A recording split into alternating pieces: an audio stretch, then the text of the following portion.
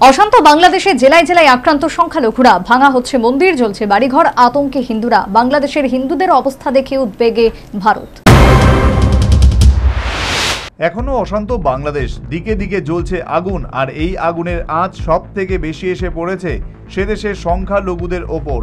বিভিন্ন জায়গায় বেছে বেছে হিন্দু মন্দির, বাড়ি ও দোকানপাট ভাঙচুর চালাচ্ছে দুষ্কৃতীরা।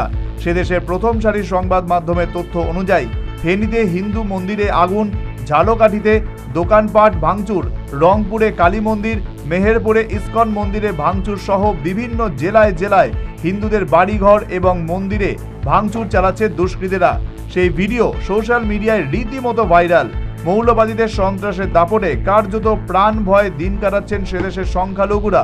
এরই প্রতিবাদে মঙ্গলবার মানববন্ধন কর্মসূচির মাধ্যমে বাংলাদেশে হিন্দুদের ওপর এই অত্যাচারের প্রতিবাদ জানান আশ্রম চৌমুহনী এলাকার ইসকন অনুরাগীরা। আপনারা জানেন, আসন্ন বাংলাদেশে এক ছাত্র আন্দোলনকে ঘিরে যে আমাদের হিন্দু ধর্মের যে মন্দির রয়েছে, বাড়িঘর রয়েছে, ওনাদের যে ধ্বংস করছে, সেটার বিরুদ্ধে আজকে আমাদের এই মানববন্ধন এবং বিক্ষোভ সমাবেশ। আমরা অতি সত্বর বাংলাদেশের যে সরকার রয়েছে বা যারা সরকার গঠন করবেন, ওনাদের কাছে আমরা নিবেদন রাখছি যেন আমাদের যারা সনাতন ধর্মাবলম্বী, যারা সংখ্যালঘু বাংলাদেশে হিন্দু নিপীড়নের ব্যাপারে সংসদেও মুখ খোলেন বিদেশ মন্ত্রী। জয়শঙ্কর জানান, বাংলাদেশে হিন্দুরা আক্রান্ত হচ্ছেন। বিষয়টি আমরা গুরুত্ব দিয়ে দেখছি। আইন শৃঙ্খলা পুনরুদ্ধার না হওয়া পর্যন্ত আমাদের নজর থাকবে। হাসিনা সরকার সাধারণত সংখ্যালঘু বন্ধু সরকার বলেই পরিচিত ছিল সেদেশের বুদ্ধিজীবীদের কাছে।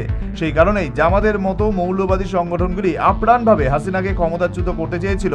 কোটা সংস্কার আন্দোলনকে ঢাল করে হয়েছেও তাই। হাসিনার পদত্যাগের পরেও সোমবার একদিনেই বাংলাদেশে মৃতের সংখ্যা প্রায় একশো পঁয়ত্রিশ। রাতভর চলেছে মৌলবাদীদের তাণ্ডব। দিকে দিকে আক্রান্ত হচ্ছেন সংখ্যালঘুরা। এই অবস্থায় সিঁদুরে মেঘ দেখছেন বাংলাদেশের হিন্দুরা।